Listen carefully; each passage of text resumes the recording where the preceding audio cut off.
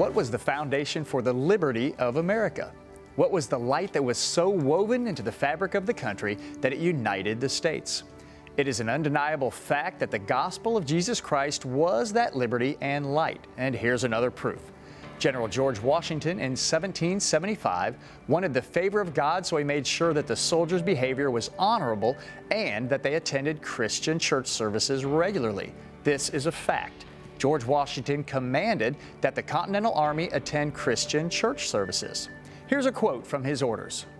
The general most earnestly requires and expects a due observance of those articles of war established for the government of the army, which forbid profane cursing, swearing, and drunkenness, and, in like manner, requires and expects of all officers and soldiers not engaged on actual duty a punctual attendance on divine service to implore the blessings of heaven upon the means used for our safety and defense. This wasn't just the action of a single Christian commander, the entire Congress agreed. They adopted rules and regulations for the Navy in 1775. They feared moral corruption and demanded that skippers of American ships point their crews to the Bible. As a side note, look at how some in government and our military today are trying to remove every reference to the Bible. That is the exact opposite of what our founders wanted, and now you have proof from 1775. Here is a quote from the second article in Rules and Regulations of the Navy, ordering all commanders to take care that divine services be performed twice a day on board and a sermon preached on Sundays.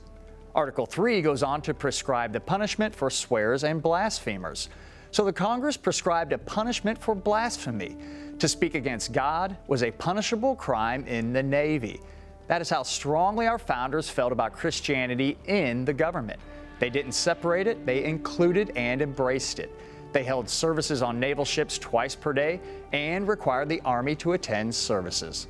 America doesn't need to follow a regressive path to look like every other nation. We need to light the flames of liberty again and follow the gospel to set people free. The light of liberty is found in the gospel of Jesus Christ, and it seems that General George Washington, the Congress from 1775, and our founders agree.